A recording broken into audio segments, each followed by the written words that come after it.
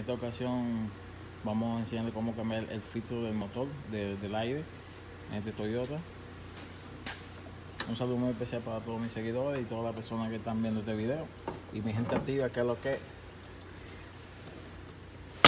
quitamos los clics que están en, en ambos lados, levantamos un poco esta parte de aquí, la levantamos hacia arriba, la movemos de acá de la parte posterior, sacamos el filtro, este es el, filtro, luego colocamos el nuevo, la pieza que necesita, el, nú- el número de piezas que necesitan es el 17 80 1 3 7 0 2 1 ¿ok?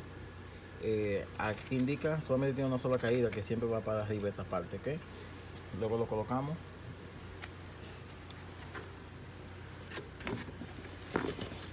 si está sucio ahí adentro limpiamos un poco.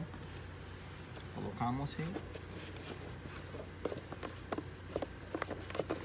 este video para explicarle cómo cambiarlo.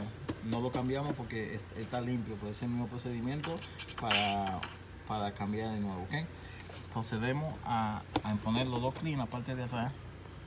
Como lo ven lo empujan hacia adentro y tienen que encajar bien si no lo intenta de nuevo. Ahí ya está bien. Luego ponemos los clics de ambos lados.